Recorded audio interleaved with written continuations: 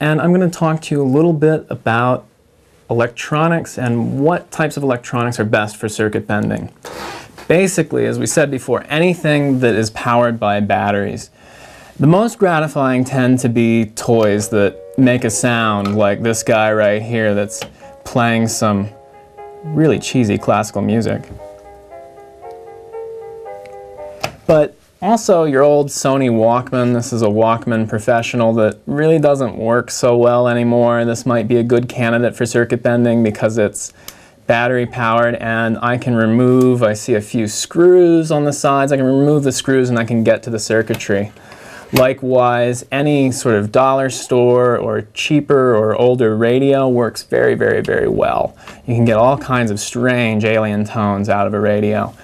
And this one I've already opened up and I've even removed some things from here, including accidentally ripping the connection that goes to the battery. Oops.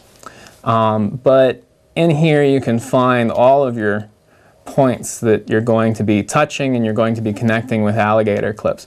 Once again though, the key is that it should be simple sort of consumer electronics that's, uh, that are battery powered only, of course.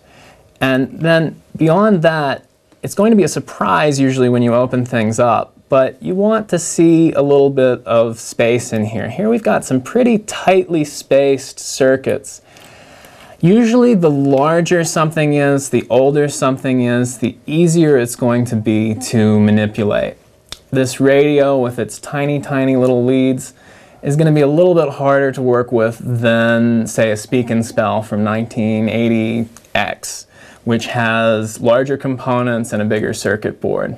So just go to the thrift store, look for any kind of consumer electronics item that's a little bit older and uh, just a couple bucks and just take it home, try it out. Basically anything that makes noise and is powered by batteries makes a great candidate for circuit bending.